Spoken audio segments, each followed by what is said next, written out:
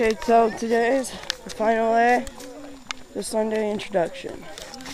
Hi, we're walking to the dock.